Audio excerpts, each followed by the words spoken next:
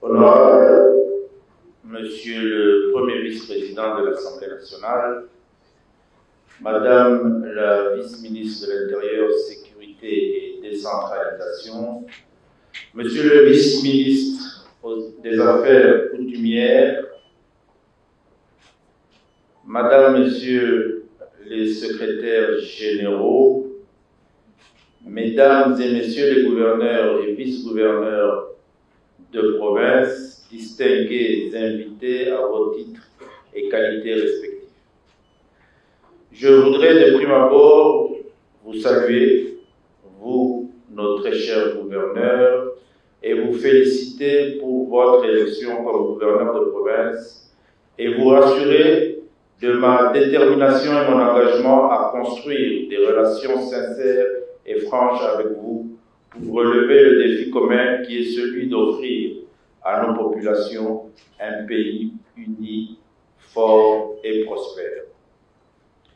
Votre participation à cette cérémonie symbolique est un acte qui entrevoit un lendemain meilleur pour une synergie gagnante entre le pouvoir central que je représente et les provinces que vous représentez. Mesdames et Messieurs les gouverneurs de province, l'objectif de cette rencontre est principalement de vous notifier les ordonnances présidentielles qui ont sanctionné vos investitures en qualité de gouverneur et vice-gouverneur de province. Cette rencontre augure notre travail d'ensemble qui constitue pour votre ministère une synergie gagnante. Notre journée d'échange s'inscrit secondairement dans une volonté de partage et d'échange d'expériences, en revisitant les difficultés rencontrées au cours des précédentes mandatures dans la gestion et la gouvernance de nos provinces. L'exercice auquel on s'invite ce jour devra servir également à mettre à vos dispositions les ABC de la gestion de la territoriale par des formateurs professionnels de haut niveau qui vont vous entretenir sur des sujets qui vous aideront à prendre le taureau par les corps. D'autres sessions de formation interviendront dans un avenir relativement court, et ce, avec l'ensemble de vos collègues gouverneurs élus. Pour ma part, je vous formule les recommandations suivantes. Mettre au devant de toute action les six axes qui constituent la vision du chef de l'État.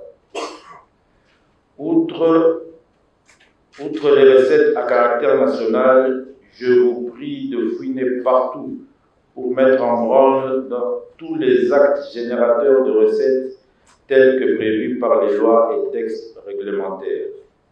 Respectez le nombre de ministres prévus par la loi sur la composition du gouvernement provincial. Ils sont au nombre de 10. Les commissaires ne sont pas prévus.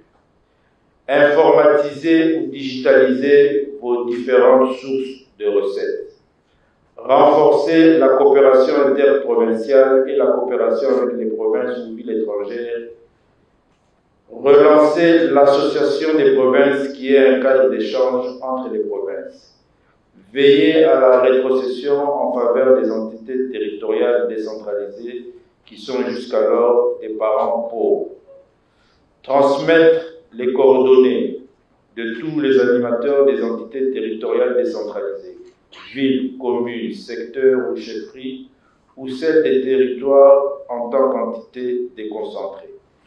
Identifier les différentes entités dont les animateurs ont été nommés et n'ont pas répondu à leur poste d'attache.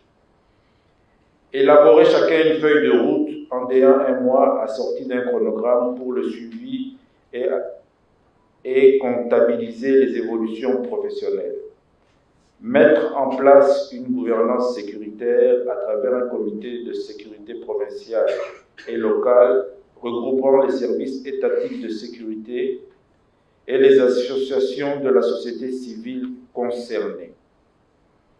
Rendre obligatoire les itinérances des autorités territoriales, provinciales et locales dans vos juridictions en respectant le principe de 20 jours de brousse et 10 jours de bureau.